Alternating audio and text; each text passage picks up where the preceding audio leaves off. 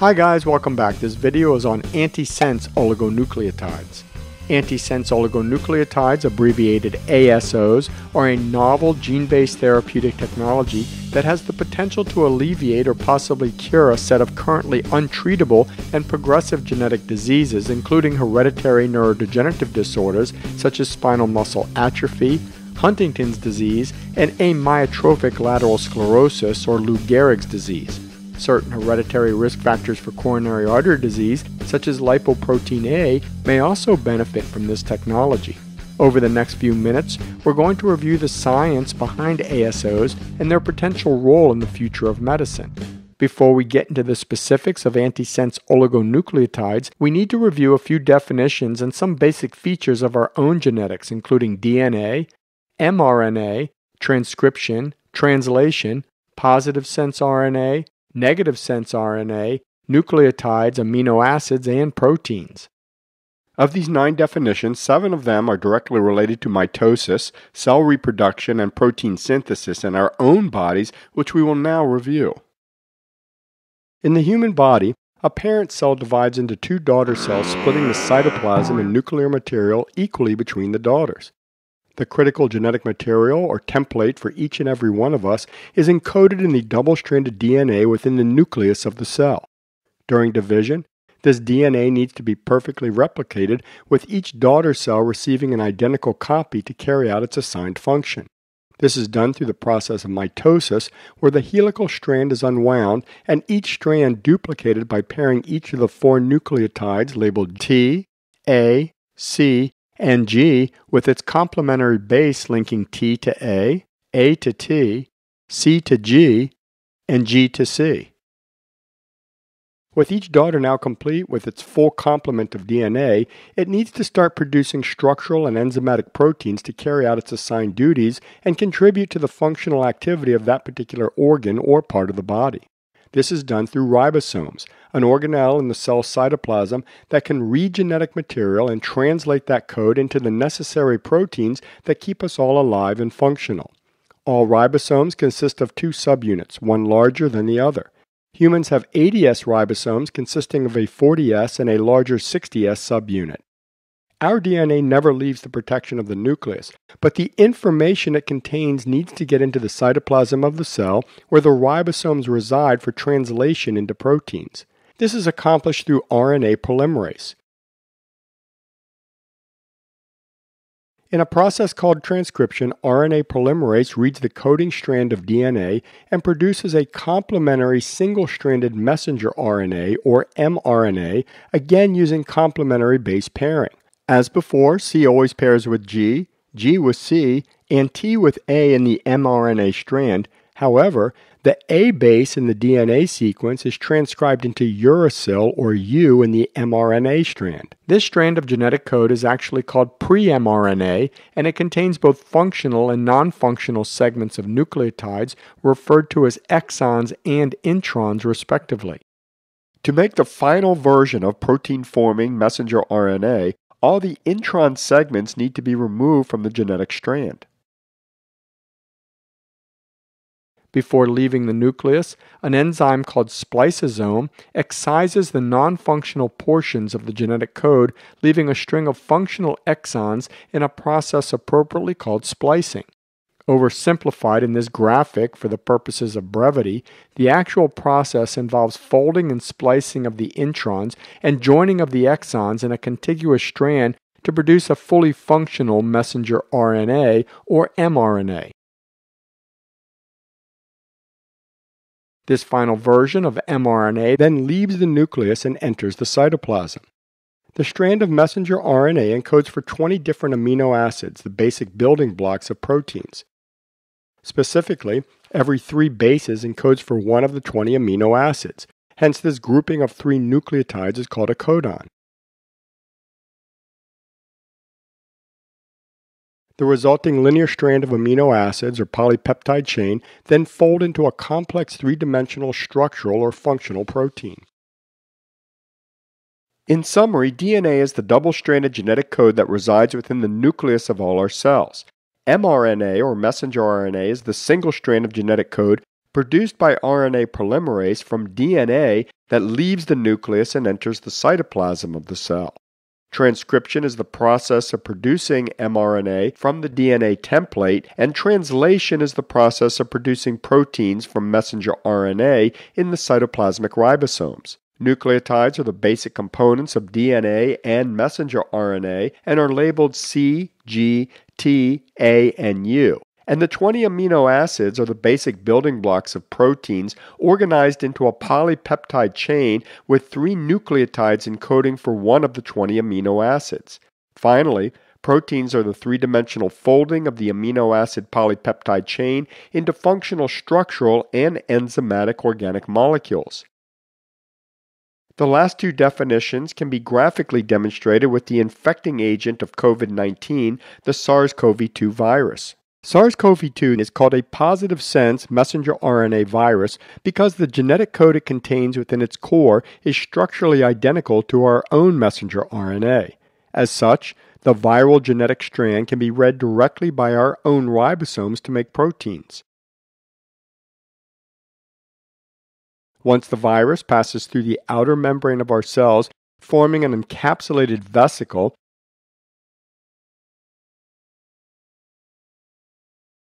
enzymatic lysosomes fuse with the vesicle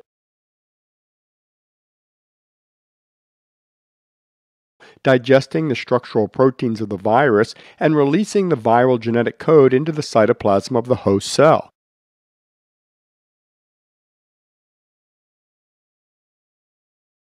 Again, since the viral genome is positive sense messenger RNA, it can then be read directly by our ribosomes to make viral proteins.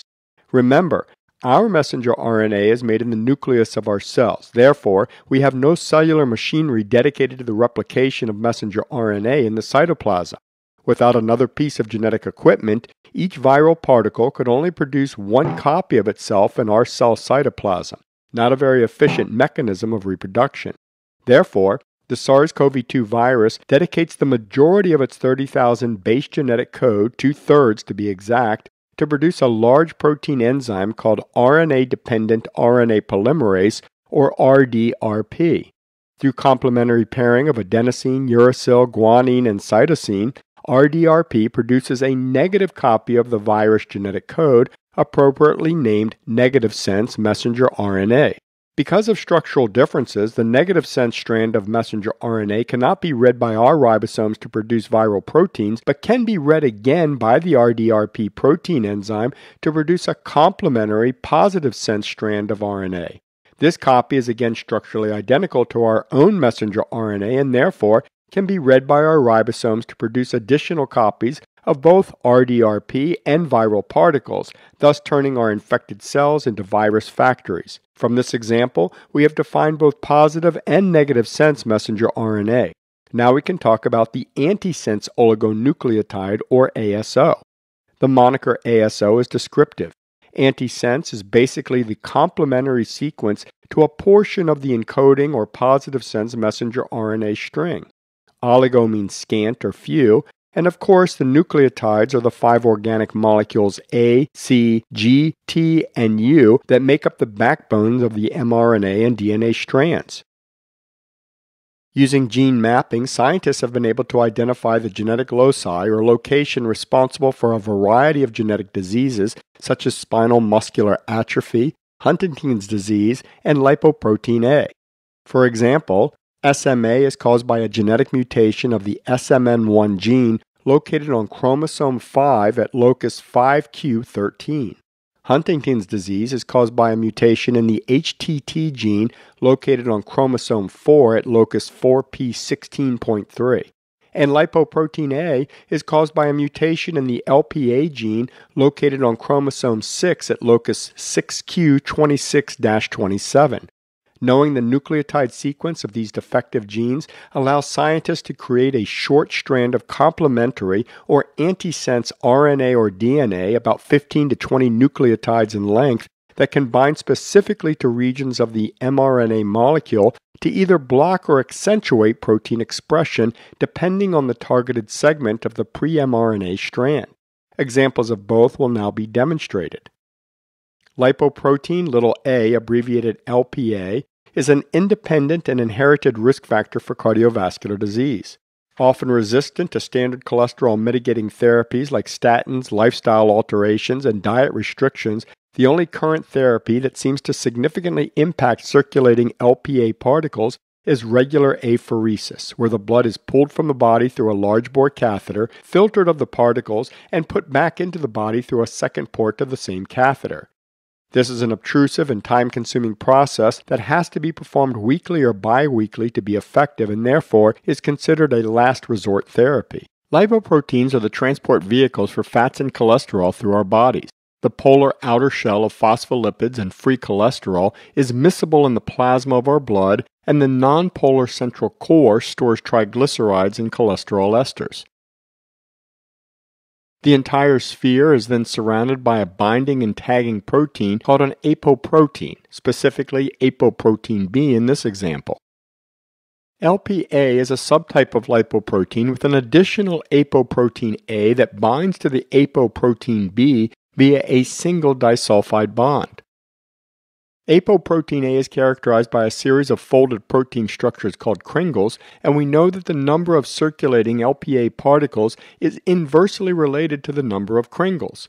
So, an individual with a higher number of kringles will have less LPA particles, and those with a smaller number of kringles, more LPA particles, possibly related to the decreased production time for the shorter chain apoprotein A strands.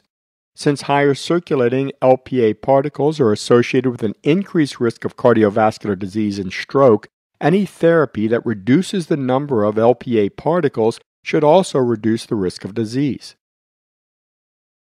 Pelacarsen is an investigational ASO from Novartis currently in phase 3 clinical trials to determine its efficacy and safety against LP-a.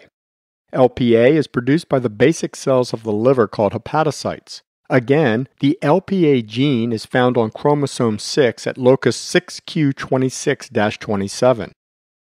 Pelacarsen is a 20 base antisense oligonucleotide that binds to a specific segment of the messenger RNA derived from chromosome 6 in the hepatocyte of the human liver. This binding prevents the translation of the LPA gene into functional LP-a proteins by either directly blocking this segment of messenger RNA or additional degradation of the double stranded RNA complex by RNase H. Either way, there is significant lowering of the absolute number of LPA particles in the blood. On the contrary, ASO therapy for spinal muscular atrophy, or SMA, allows expression of the otherwise suppressed SMN2 gene in affected individuals. Spinal muscular atrophy is a devastating neurodegenerative disorder that can, in the most severe cases, kill infants and children in the first few years of life, and in mild cases affect older patients later in life. Caused by a homozygous deletion in the survival motor neuron 1 gene on chromosome 5q13, this gene produces SMN1 protein required for the long term health of our lower muscle motor neurons. Without it, our neurons degenerate with progressive muscle weakness and eventual paralysis.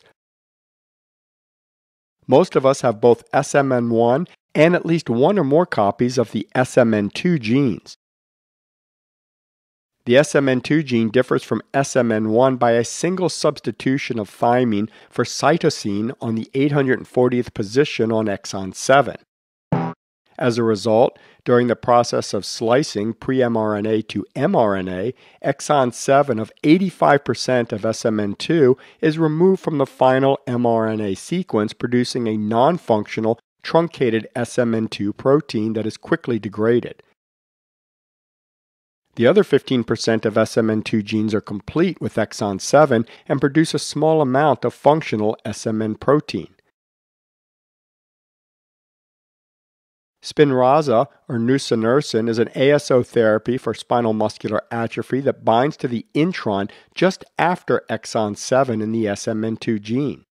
ASO binding results in this segment being skipped by the spliceosome during the splicing process, and thereby including the full SMN2 gene in the final mRNA sequence. As such, there is a detectable increase in the amount of SMN2 protein during translation, significantly improving lower motor neuron health and cellular survival. So, as you can see, ASO therapy modulates gene expression somewhere between transcription and translation in protein production and may have tremendous potential to treat or alleviate a number of genetically inherited disorders that currently have no effective conventional therapy. Of course, ongoing research will be needed to determine long term safety and efficacy of this emerging technology. Thanks for watching, and we'll see you next time.